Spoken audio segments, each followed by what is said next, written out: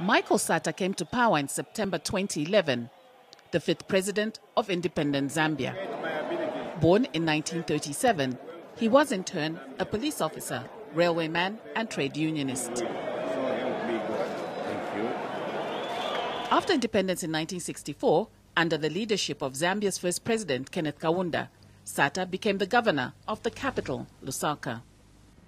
Kaunda remained in power for another 27 years.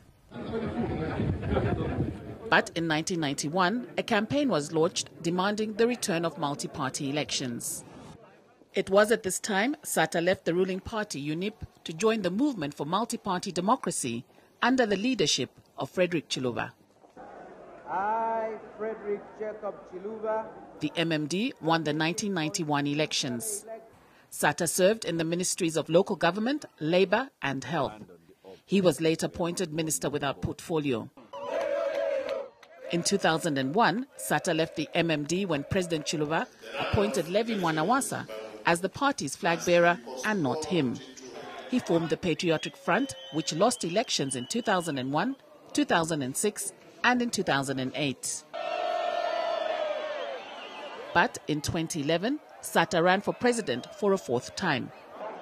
His persistence paid off. He won 43% of the vote.